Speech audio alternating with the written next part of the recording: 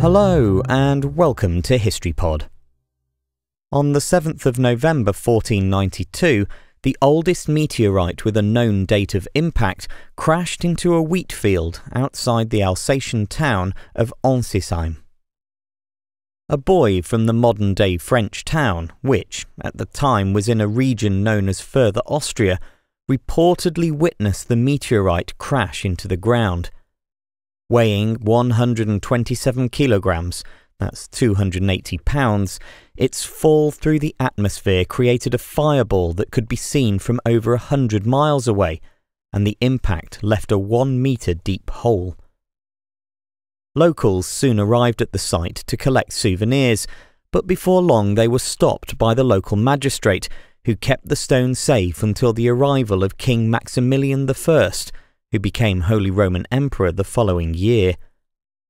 Declaring the meteorite to be a positive omen from God for success in his wars against France and Turkey, Maximilian chipped off some pieces as gifts before entrusting the remainder to the people of Ensisheim. Meanwhile, contemporary satirist Sebastian Brant composed a poem about the meteorite that was circulated in printed broadsheets in both German and Latin.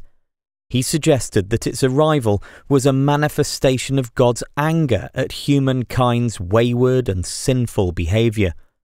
In response, the meteorite was fixed to the wall of the church with strong iron crampons to ensure it couldn't escape and cause mischief. The meteorite currently resides in Ensisheim's 16th century Musée de la Régence, although the intervening years have seen souvenir hunters remove more than half of its original mass. These fragments of the oldest meteorite with a precise date of impact can now be found in both museum and private collections around the world. If you enjoy HistoryPod, please consider supporting it in order to keep the daily episodes like this being researched, recorded, and released. Full details are at patreon.com forward slash historypod, or you can leave a rating or a review on iTunes, Stitcher, or Google Play.